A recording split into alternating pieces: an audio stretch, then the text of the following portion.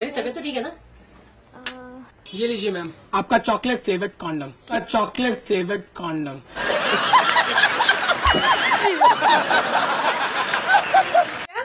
कौन कौन लौड़े लग गए। लौड़े लग